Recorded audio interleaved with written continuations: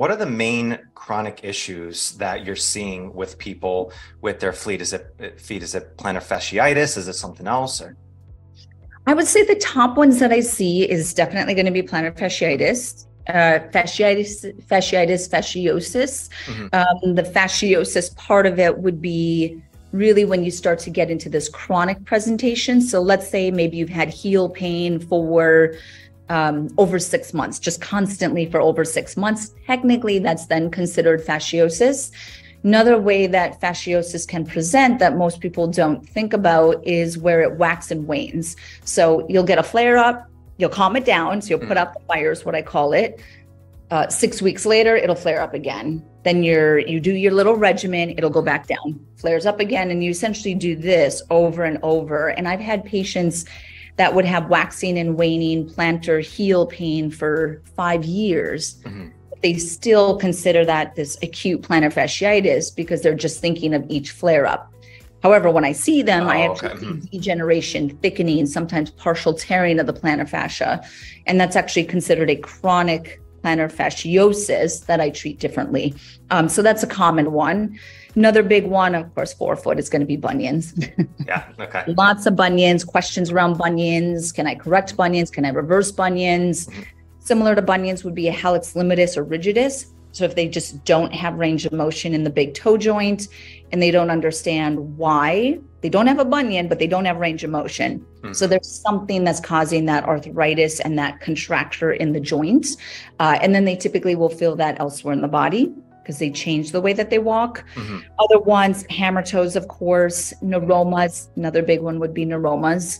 Um, and then one last one that is very common is lateral foot pain. So that's something on the outside of the foot. Uh, it's actually very highly searched because I think people don't understand it when they have pain on the outside of their foot, which is called lateral foot pain. Usually it's just a peroneal tendonitis or tendinosis. Mm. Is that is lateral foot pain? Do you see that a lot with athletes or people who are more into uh, health and fitness a lot? I do, and where you could see it is similar to the the client or the individual that mm-hmm. presents with IT band issues, because the lateral line, right? Your lateral line from your outside hip, your glutes, your TFL coming into your IT band, it actually blends into your peroneals. Mm-hmm. And then your peroneus brevis inserts onto the side of your foot on your styloid process or that bump on the side of your foot. So you can get tightness pulling at the styloid all the way into your glutes and your TFL, that whole lateral line. Mm-hmm. It'll talk to the patient either down in the foot, on the side of the knee, in the outside of the hip. It, it just depends on the individual where it's going to talk or show face. Yeah, I've I've personally had some of that lateral foot pain before, and I, I don't wish that on anybody from it. And it's tough because it, it really does kind of affect everything. I mean, our feet is our connection to the earth. So I I thought it came from doing more of um, some heavy squats because I found like some stuff of doing heavy barbell work, like heavy deadlifts, heavy squats, and stuff like that. It can be um, like it challenges your feet quite a bit on a strength base of there.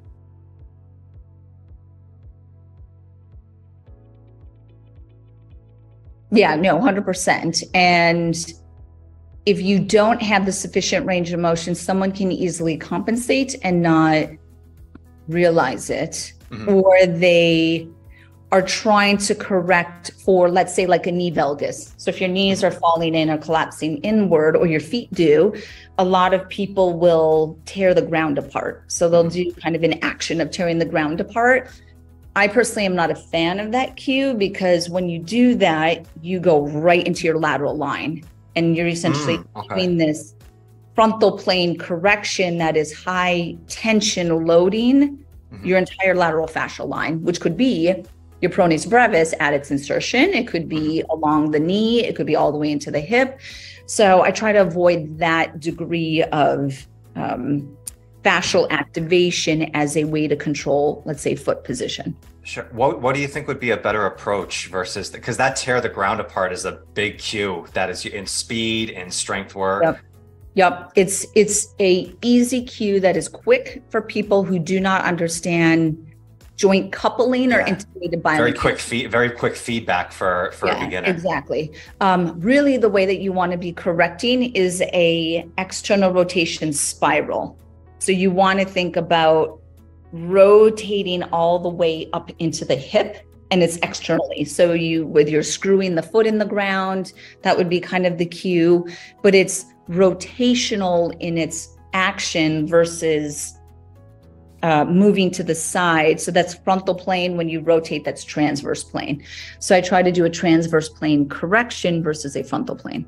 Mm, okay, yeah, that's a really good point. That's completely different movement when you get that spiraling position. We teach that in kind of finding your uh, foot position in kettlebell swings of kind of that lock and rock of kind of find and wedge through that position, kind of get that alignment there. That's beautiful. So.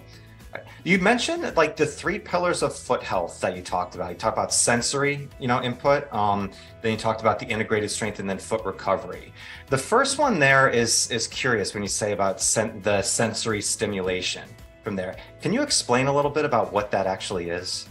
Yes, I love to talk about sensory of the feet because it's a part that was actually not taught in podiatry school um, and is underappreciated as far as the influence it has on overall foot function.